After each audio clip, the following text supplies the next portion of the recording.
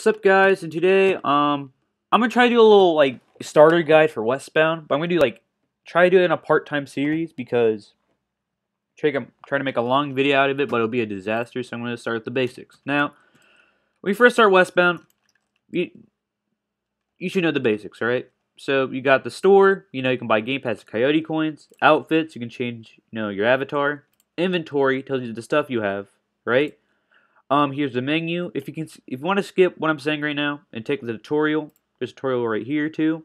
That's totally fine. You can do what you want. And settings, you know, like I just clicked on, and become outlaw.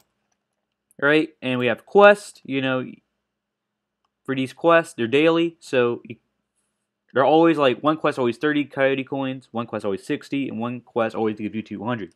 And this button is to call your horse. Now, let's get to the basics. Now, when you first start westbound, you should start with a. Hold on, let me go to my stash. Also, when around the map near like towns, you should find stashes and you can sort out your weapons. Anyways, so you start start with a Colt 45.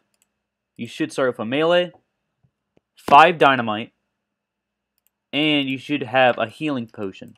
One healing potion. Now, good thing to know how to start the game. You know, if you press Q, you can open up your weapon wheel. Alright? Now, I went over this in our video, but you can actually keybind your weapons on computer. Now, how you do it, you hover over the weapon you want to choose. For example, my Colt Navy, and then you press a number, and that keybinds it. So if I press 1, I pull it out. Now, you don't have to worry about, like, shooting like this. You have to pull out the weapon wheel. Alright? Nothing much. Kill this person. Now, now you know how you, what you start with the first thing you should do is try to look into getting a horse. Now, when you first start in the game, you don't start with a horse, alright? You always go to this one horse, which are free. You always click the one in the front, but it's not free. Or, or it is free, but like, basically it's not, it's temporary. Right? If you die with it, you can't call it back. Now, but if you want a permanent horse that you can call all the time, you go to your stable, right? This should be in each town, except Rustridge, I forget. But basically you can start with a brown hybrid, you know, this dark brown, and you can buy it, call it, boom, easy as that. Now you know how to start. Now, I'm going to the shops. Now,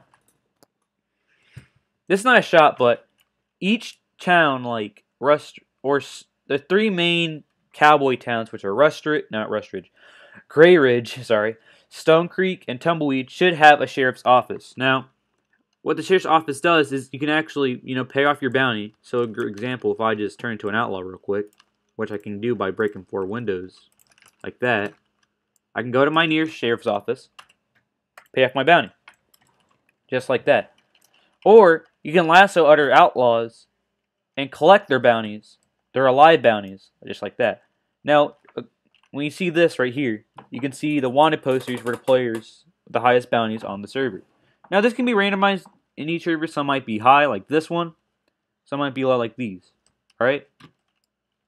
Now, how you catch people alive, like I just said, you take a lasso, which you get from the general store. I'll get into that later. You know, you lasso them. You have to make sure you're near the sheriff shop. You can just go to, you know, right here, lasso them, boom. Or you want the dead bounty, you just basically got to kill them. Just like that. Now, outlaws, Outlaws killing other outlaws, you cannot collect their bounties. But uh, also a thing to know, when when you kill somebody, right, they can drop their inventory sometimes. Not all of it, but at least some of the stuff they have. This can be randomized depending what they drop, you know, just like that. Anyways, let's get the main part of stores. Now, when you walk in the tumbleweed, for example, right here, you got the general store. And this should be your the first thing you should get. Now, the first thing you should get is a pickaxe. Now, I already got the pickaxe, but again, level 1 pickaxe, it's free. Alright, so you should buy a pickaxe at the start if you want to go mining. Now, there's money bag upgrades. You can read them right here. Full description. Here you got your lantern. You know, your healing potions. Alright? Also, you can sell off your stuff to the general store right here. Or mining mining stores, which are in Stone Creek and, you know, Rustridge. Yeah. Anyways, now a good thing to know is because these two stores right here, they both sell healing potions, but this one sells um max. This one, this store can increase your capacity of how many potions you can have on hand. So if I bought this right now, which I'm not because I want to save my money real quick, you know, I can get whole two healing potions, which are pretty good for PvP if you want to try it. All right. Now let's get to the gun store. Now when you go to the gun store, you know this is where you buy all your guns. Now you can you can buy ammunition here. You can buy big dynamite, dynamite, you know, stuff for type of right guns, you know, etc. Now you can right here you can start with a bow and arrow, and you can see all the weapons on hand. Now something with gun stores, not all stores hold the same guns. All right. What that means is, for example, this store you can check right here does not sell the double barrel shotgun. Now, as you can see right here, this is the double barrel shotgun. Now you can normally find these at, um, if I'm correct, Grey Ridge. You can buy a double barrel shotgun there, and it's pretty good. Now some stores might not sell certain guns you're looking for, so you have to go to the other towns and buy them. Just a quick reminder. Now, you're probably wondering, okay, so what are rifle, pistol, sniper, shotgun ammo? That should be basic, you know. For example, this uses bow and arrows, this uses pistol ammo, which are always free.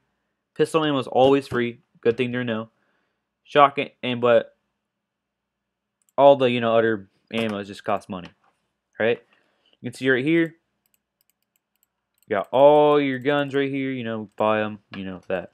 Now that's really about it I want to teach right now, like the basics of the shops, you know, how to get a horse, you know, what what each thing does. And yeah, it's really all about it. Also banks. Um, you can just basically go rob banks when you're an outlaw. And yeah. Now, I'm gonna I'm gonna try to make this a part-time series, like I said. I'll go into other stuff later on.